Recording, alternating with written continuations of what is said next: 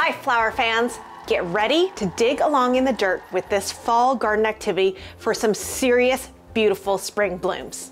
Ranunculus and anemones are two of our most favorite spring blooms here at the farm.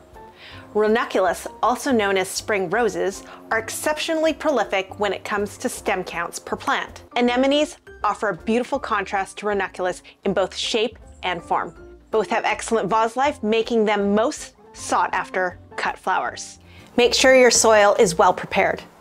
Ranunculus and anemones will perform well and tolerate the wet winter conditions with well-draining nutrient soil. Be sure to prepare your soil appropriately by amending your soil with a broad spectrum, nutrient-rich fertilizer like Down to Earth's BioLive and turn in a good layer of earthworm castings. Ranunculus and anemones can overwinter easily provided you have good draining soil.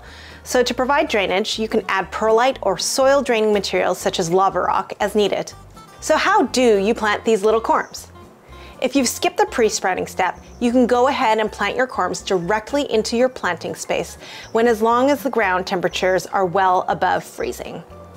Our temperatures in Zone 9B are relatively mild and our fall temperatures hover in the mid 40s to high 50s. If you've pre-sprouted your corms, gently separate the roots of your corms and plant them into your soil.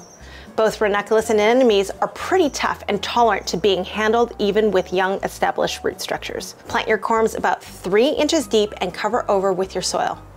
It's fine to cover any green sprouts for the pre-sprouted corms as they will make their way above soil level over the next several weeks. If you have smaller sized corms, you can go with closer plant spacing of four to five inches.